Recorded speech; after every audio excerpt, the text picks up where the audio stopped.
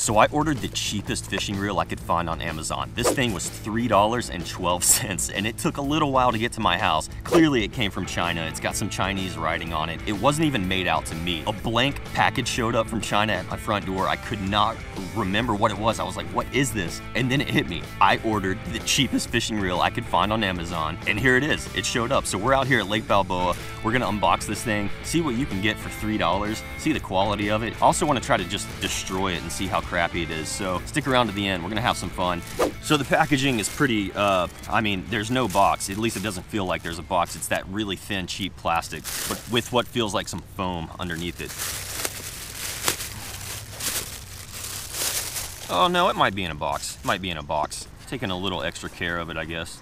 All right, inside of another box, here we go. What do we got? The HT200. So this is a 200 size reel. I honestly don't, I don't remember what color we got. I don't remember uh, any of it. We got some information on the box. Long cast spool, S-curve oscillating system, large diameter line roller, zero vibrative balanced rotor system, 35 mole space, tip points, anti-reverse mechanism, high gear ratios 5 to 1, sensible graphite body construction. So, whatever, you know, I guess that sounds fancy or whatever. Let's get this open, see what's inside. Okay, okay. Not bad. Wow, that feels, is this like 3D printed? I mean, it feels like there's plastic, like there's plastic cheap reels, and then there's like whatever this is. I don't even know. I'm gonna have to see. Oh, it does have some line on it. Okay, it came pre-spooled with a little bit of line. I can't tell what that is. Maybe like six pound mono or something. Oh, God, that sounds horrible. That feels and sounds horrible. this bail is like grinds open. Everything about this, like initial first impressions, is so cheap. I'm curious to see how the drag system works on this thing. Looks like we do have the, the lock release. You know what it almost looks like? So this is my BG 3000. This is a 2000, it's a little bit smaller, but kind of a similar back end here as that one. But I mean, clearly the build quality is like not even remotely in the in in and of the same the same world. It's like everything's like super like poorly printed on here too. Like the edges of all the text look horrible. I mean, it's a three dollar reel for sure. This is a this is a pretty much what I would expect to see with a with a three dollar reel. I feel like I'm insulting this Daiwa rod by putting this on here. Sorry, Daiwa. You're better than this. I can't tell what that is. It's like the it's like where they tied the line to the spool or something, but it's like the tag ends from the inside of the spool sticking straight up. Like I don't know where that ends. If that goes all the way down, that's stupid. That's like totally obviously catching the line on the way out. That's dumb. All right, I'm gonna strap on the GoPro. I'll see you guys out at the water.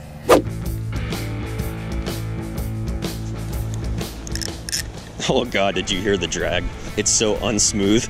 See if you can hear it. Oh, it's so bad. Holy crap. Let me loosen that up, I guess. It's a little bit better. Man, this is the handle where you put your fingers so small. Like I feel like it's it's like I'm slipping off. All right, here we go. First cast. $3, $3.12 reel from China.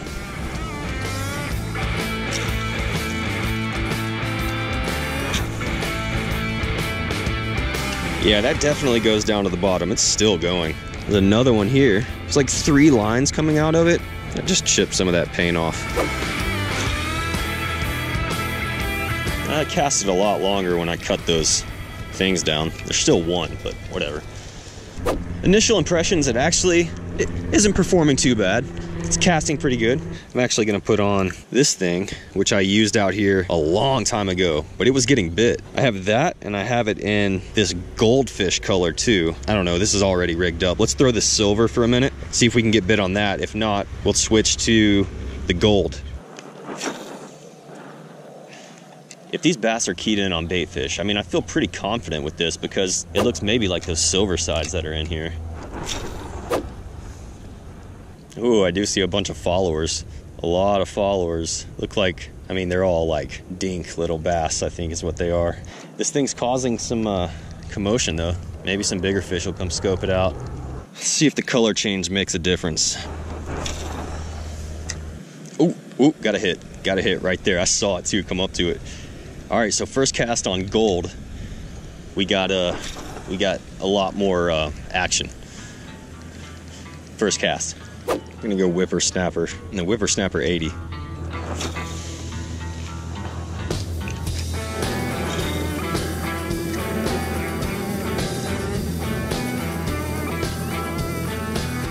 Oh, we got one. Oh my God, we got one.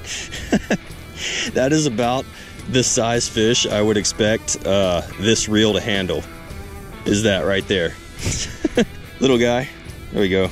That was no problem for the reel. If you want to fish these guys, no problem.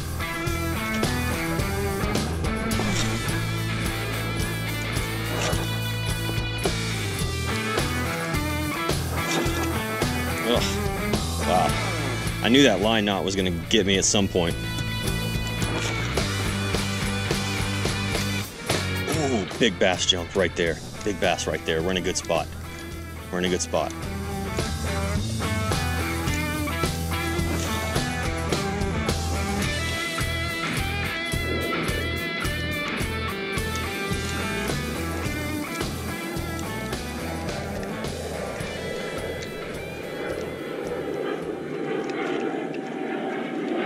My God, the handle's already starting to break off.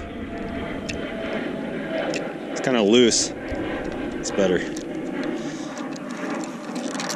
Oh, it broke off. The handle just broke off. Wow, seriously?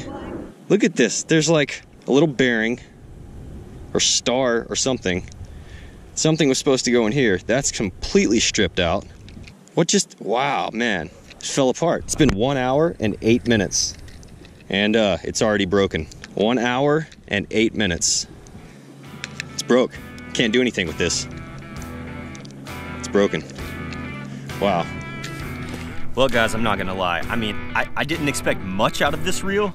I expected way more than an hour and eight minutes before it just completely broke. I mean, the way this handle was in here, it wasn't even like it's not even screwed in. I, well, I guess it was screwed in, but the, the threading is like this incredibly cheap plastic, I guess. I don't even know. You can see where that has been spinning though inside of this. It, you just push it on basically. It just it was like a push on. This is crazy. Piece of crap. And this, look, this was already starting to fall apart. I don't know how much longer this thing had. I don't know why you would buy this, why you would spend money on this.